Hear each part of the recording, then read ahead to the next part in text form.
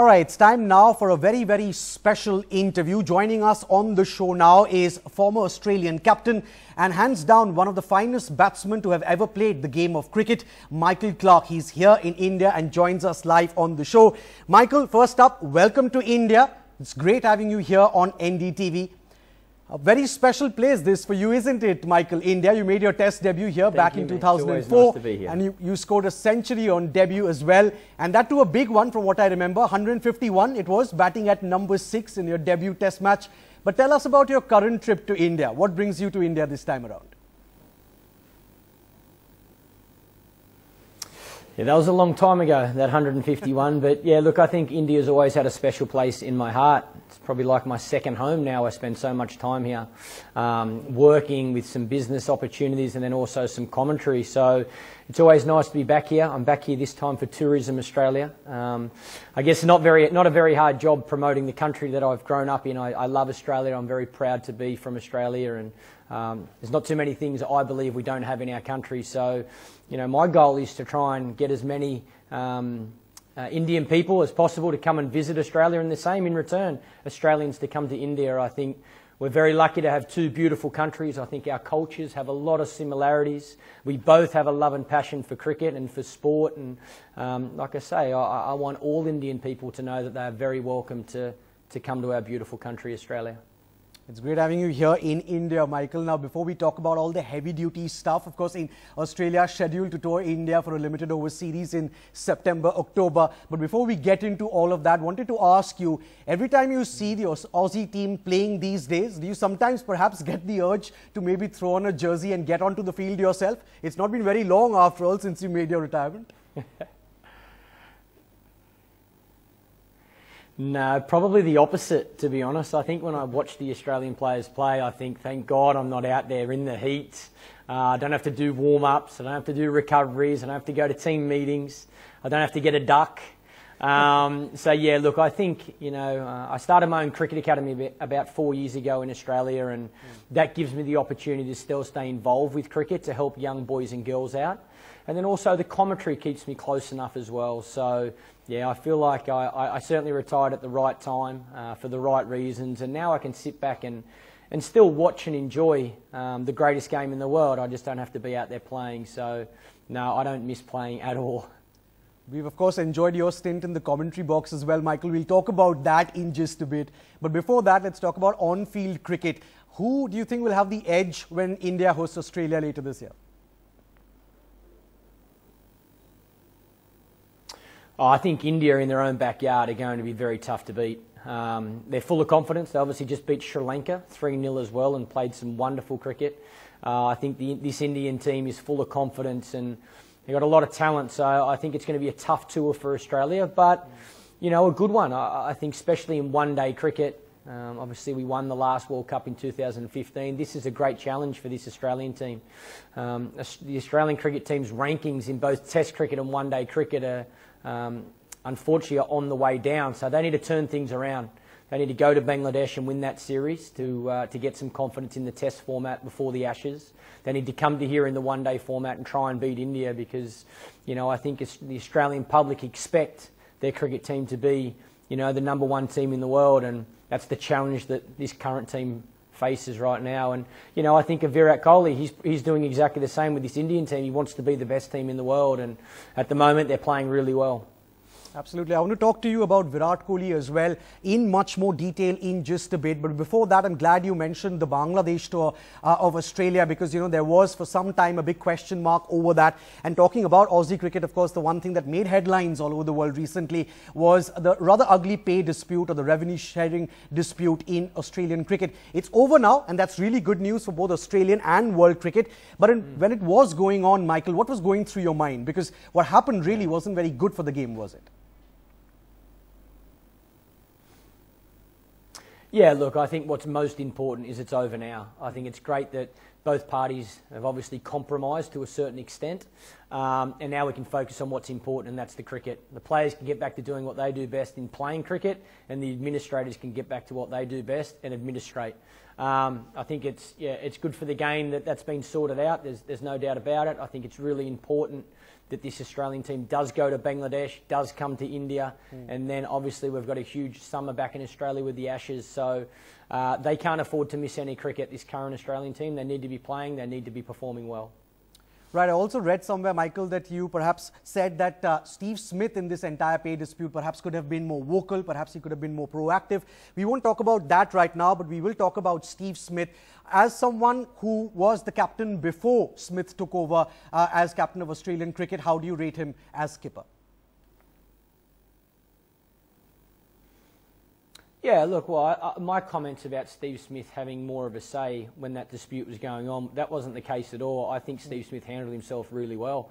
I think the problem with uh, what was going on was some people were talking about it on social media in regards to players, and some people weren't, and I think uh, that needed to be sorted out between the Players Association and the players. I actually think personally Steve Smith kept himself out of it. Um, uh, I don't know, but I would imagine he was talking to people behind closed doors, so I think he handled himself really well. As he has done with the captaincy so far, I think his batting continues to lead the way for Australia. He's certainly Australia's best batsman um, and one of the best batsmen in the world at the moment. Uh, and he's going to need to continue to perform well if Australia is going to, like I say, find a way to get back to number one in the world. So, um, yeah, a big 12 months coming up for the Aussies, and I'm, I'm confident Steve Smith will continue to lead the way. All right, from Australian cricket, Michael, let's switch tracks and let's talk about Indian cricket for a bit now. The number one test team in the world, they've won eight consecutive test series now. As someone who had an 11-year career at the highest level, what's your take on the kind of cricket, the brand of cricket the team India is playing currently? Yeah, I like the way they're playing. I think they're, they're quite aggressive. Um, they're willing to risk losing to win uh, and I think that's important. I think sport is about one team winning, one team losing. You want to win, but you learn to lose as well. You accept that losing is a part of sport. And I feel India is playing that brand of cricket at the moment. They're not hesitating, they're confident in their ability, and they're trying to win. So, uh, like I say, for the Aussies to come over here in this one day series and to beat India would be a wonderful achievement. But like you say, India's full of confidence. They're winning at the moment, both home and away. And the next 12 months is pretty big for the Indian cricket team. I know they've got a away tour to South Africa, a away tour to England, and then an away tour next summer to Australia. If India can beat those three teams away from their own backyard, there's no doubt they are the number one team in the world. All right, let's talk about the Indian captain now, Virat Kohli. You briefly mentioned him a, a, short while back. Now, the Aussie media, I have to be very honest here, Michael, never really misses a chance to have a go at Virat Kohli. But you recently went on record to say that Virat does have fans in Australia. It's not like he doesn't have any fans or any fan following in, in, uh, down under. And that you also think that he has a lot of Australian spirit in him. Is he one of the toughest characters you've run into on a cricket field? Yeah, Uh, yeah, look, I think, like I say, that's why I believe a, a lot of the, the things Virat does when he plays uh, is similar to the Australian style of cricket. Uh, Virat shouldn't feel bad if the media don't like him. I know that exact feeling. The Australian media didn't like me much either, and I was captain of their team. So um, that's part and parcel of, of playing sport at the highest level. Um, I think sometimes when you do cop some criticism, you should take that as a compliment. You know, it's a sign that. Um, you know, people know how good a player you are, and, and Virat is a, is a wonderful player. There's no doubt about that.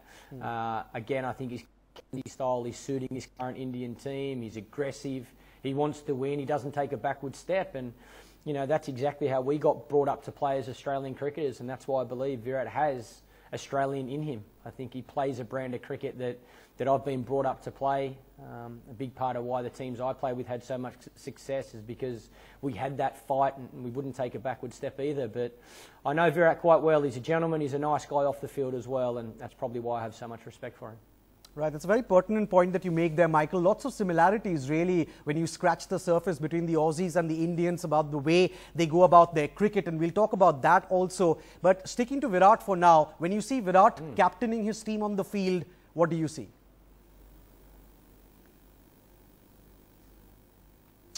Well, I see a team that's winning at the moment. At the end of the day, that's all that matters. It's uh, our our sport is result driven. Mm. So as a leader, it's exactly the same. It's exactly the same. If your team's winning, then you're obviously doing some things right. And at the moment, as you mentioned, India have won eight series in a row, so they're doing plenty of things right. Right, when it comes to Team India these days, Michael, they're not really afraid to give it back to the opposition on the field. They play good and when required, tough cricket. From an Aussie point of view, was there an element of surprise perhaps, perhaps in Australia and in, in Aussie cricket circles when you saw Team India play this brand of cricket, which began maybe a, you know, five, six years back? I actually think it began earlier than that, to be honest. I think Sourav Ganguly deserves a lot of credit for that. Mm. I think the way uh, he changed the style of cricket that India was playing. He brought that aggressive approach to the Indian cricket team, and I, I think his captaincy deserves a lot of credit for that. And uh, I think, you know, um, Anil Kumble, MS Dhoni, Virat Kohli, they've continued that on. So, um, no, I, I, haven't been surprised at all. I think, you know, that confidence in, in yourself and in your team um, brings that out in you. And, you know, the want to have success, the want to win is is what drives you every single day on the field. I think mm. what's most important is you can play hard on the field, but also be respectful and, and build friendships off the field. And, um, you know, from my experiences playing against India, it's been exactly that. It's been competitive, Australia versus India on the field, but I've always had wonderful friendships off the field with the Indian players. Well, you're absolutely right, Michael. You know, Sourav Ganguly, of course, instilled that, that fighting spirit, uh, that aggression in Indian cricket. At that time, you would see maybe five, mm. six players do it. Now you see the whole team go out there and play very, very uh, good and, when required, tough cricket. Uh, going back to Virat for a while now, uh, Michael, uh, Michael Hussey has gone on record comparing Virat to Ricky Ponting as captain. Would you agree with that comparison? Well, I've never played under Virat, so it's hard for me to compare their captaincy styles. Uh, I think two very different teams. I don't think you can compare the team that Ricky Ponting captained to the team that Virat's, Virat's captaining. So, uh, and I think Virat's his own man as well. I don't think Virat would want to be compared to anybody. I think he has his own style. Uh, he backs the way that he plays, and uh, like I say, what's important right now is he's leading the Indian team really well. The team's winning, they're having success, and he knows how, how tough the next 12 months is for cricket. So he'll be wanting to, to be number one in the world in all three formats of the game. I'm sure that's what he's challenging his team towards at the moment.